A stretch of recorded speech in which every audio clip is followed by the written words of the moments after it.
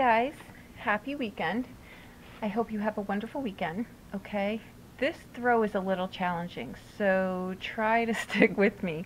We have every court card at every level in here. And the only trump that we have is the transformation card.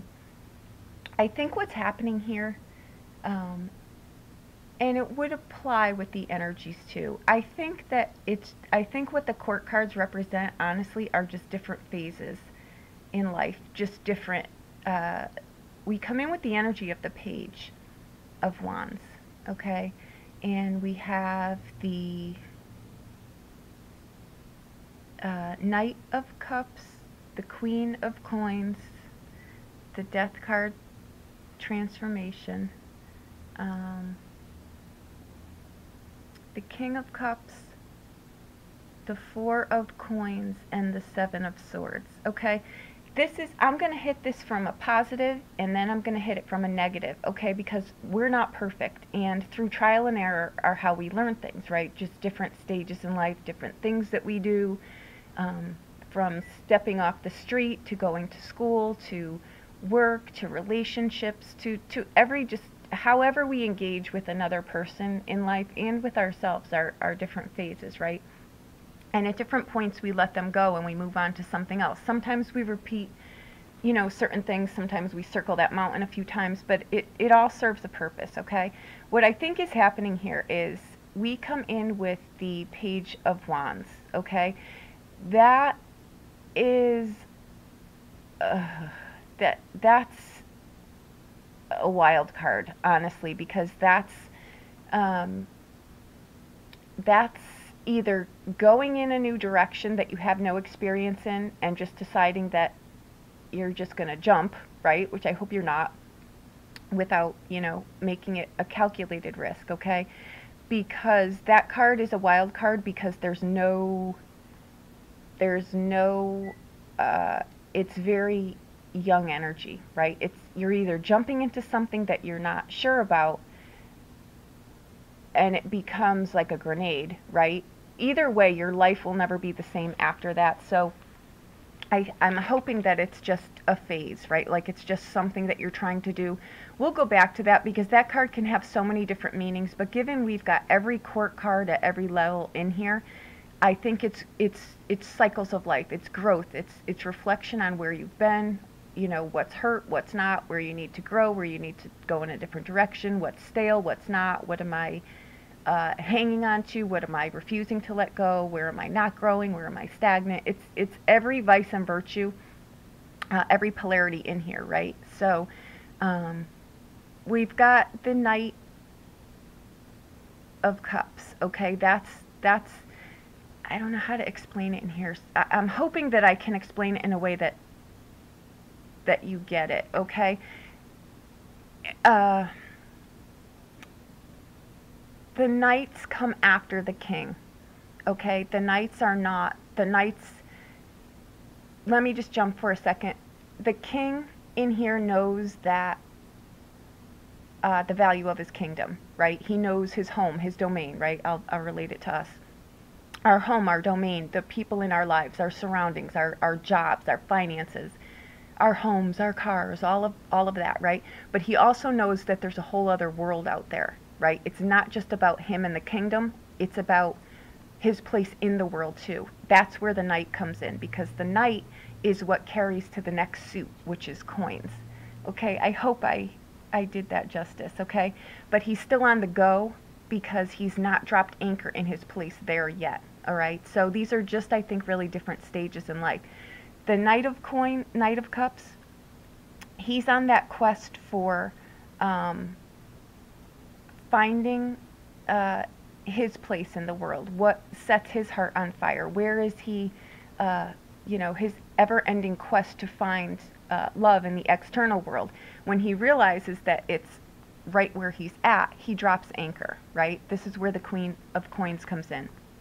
The Queen of Coins, and again, these are don't put gender on these these are just archetypes, okay? The Queen of Coins, she is someone who uh, knows who she is, she knows what she wants, she knows what she wants in life, she knows the kind of life she wants, right? But she will get it at all costs. Okay, so this is this is where we learn in life that we don't steamroll over people to get the things that we want. We don't need to manipulate people to get the things that we want. We really just do things uh, in the right way, and we realize that you know people around us will help us. We don't need to to do things in a self-absorbed way like that, right? Because when we really know who we are, we don't need to steamroll over people. Okay, so that's the vice and virtue part of that. When we learn these things, that's where the transformation comes in, right? We learn those things. That's that's just part of learning. We don't do these things sometimes, hopefully, right? Intentionally, when we learn that it doesn't work that way and that's not the right way to do it, we do it a different way. And now we come into the king, uh, who realizes that yes, you know, my domain is important, but it's also important what I do for the world. You know, I'm contributing part of what makes the world a better place, right? The four of coins here, that is hearth and home, right? That's realizing that all of the assets that I've got, I need to keep them in working order. My health, uh, my assets, I need to keep, um, you know, my finances in good standing. I need to keep my life as a whole productive and not stagnant, right? So that I can do better uh, for myself and my community and I can make the world a better place, right? We learn that through transformation too. So you can put every card plus this and that's growth, right? That's that's all that it is. It's knowing that you've got to let something go to acquire something else. And that's just learning. It's different levels of learning. The 4 of coins comes in. Now you know what is uh, substantial to keep your life in working order and and what's going to stagnate you, right? The 7 of swords is usually that card that uh, um, comes in as the deceit card. It, it's more of an introverted card, right? It's someone who um, is a deep thinker, more like the mad scientist, right? Like a an introverted person. They're not deceitful people. They're just not really. Um, they, they're, you just don't see things. It, it leaves question. Your your um, how you operate in the world leaves question to um, people really aren't sure where you're coming from or what you're doing or if they can trust you or if they can't trust you. So with this card though, with these two cards I should say, you really realize that um, ah, I know what my place in the world is, right? And it's it's doing something for yourself that sustains your home, but it also does something for the world. So you figure out here what your drop spot is, right? And and you do it with these two cards, okay, there's an air through here of um, wanting to do things your way and only your way, right? This also comes in with learning. Sometimes we, it takes a little longer sometimes, right, to circle that bend and realize that my way isn't the only way. And, you know, some of these signs and some of these houses really aren't, this house in particular, um, this house right here, okay? This is a difficult, this is, this is the third house of Gemini, okay? This is a difficult house, but it gets better with age, right? It's when you, it's where we learn language. It's where we practice things. It's where we learn new skills, right? It's, it's figuring things out. It's not always easy in the beginning part of life, right? But we figure it out as we go and it becomes much easier and we come uh, more open to doing things, right? This is the same with this house, right? It's it's it's what do I keep? What do I hang on to? What do I not hang on to? This to me is not the miser card. It's it's it's also it's learning where do I put my stuff? Where do I put me, right? Where am I in this community? Where am I in in life in general? And these two, I think that when you figure these things out and we figure them out through life, it changes consistently.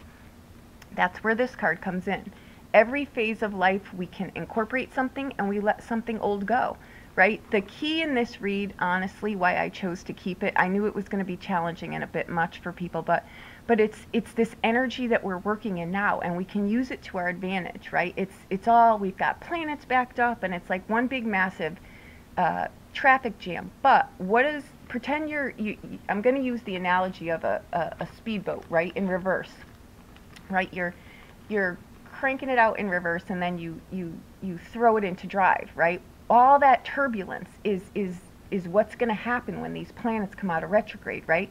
So we want to have our footing here as to where we can go now. So let's figure all of this out, right?